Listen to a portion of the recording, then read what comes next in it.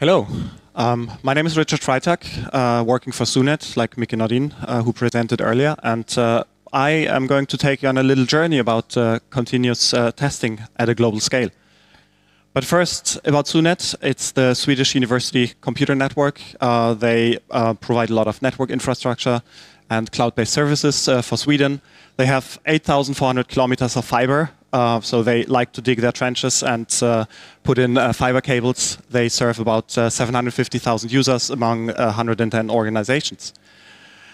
Um, but sometimes you get uh, the opportunity to, to, build something. So we built a system for scientists, and so you need to model your system. It's a bit of background information on why we do what we do.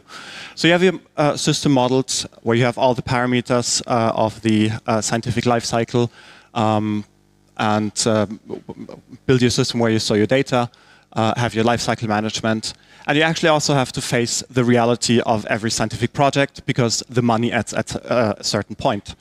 So you build your system in a way that the universities can lifecycle handle uh, their research data even after the project funding uh, has run out. So with this model in mind, you start building. And uh, you start building not small, you start building big. You build at a global scale. As Mika already said earlier, we have 54 Nextcloud nodes, one for every Swedish university, pre-built. They can just log on, provision their user account, and use the system.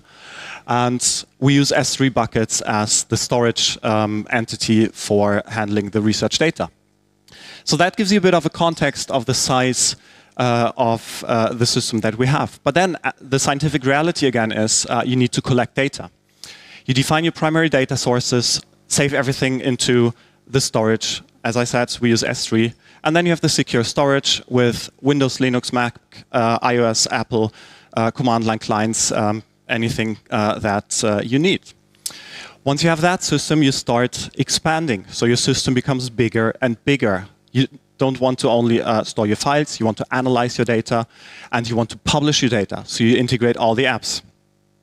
Once you have that expansion, you start asking yourself, does it actually work? All the time. And this is where the testing comes uh, into, uh, into place. You start writing your tests.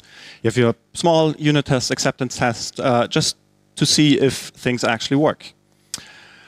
Once you have written your test, you start testing systematically because that's the purpose of testing, right? So you have manual testing, automated testing, and on-demand testing, uh, automated testing, and you hope that uh, your automated testing will be will cover uh, anything. So you start with the acceptance testing. You have capabilities, status inversions, user lifecycle handling, file handling, uh, write tests for all of those. You do Selenium testing for node login, including uh, two-factor authentication, and so on. Collabora testing takes a lot of time, uh, but we do it all the time to make sure that the Collabora works. And we occasionally do some load testing and uh, have tested with uh, up to 6,000 users.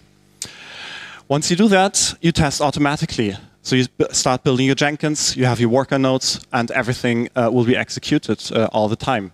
Um, so you, uh, once you have done that, you start using pipelines because you realize, oh, this is actually a lot. I don't want to click on start test uh, if you do on-demand testing. So you have your pipeline where you trigger all your tests for all nodes all the time, and you get this nice matrix view about the status of your system.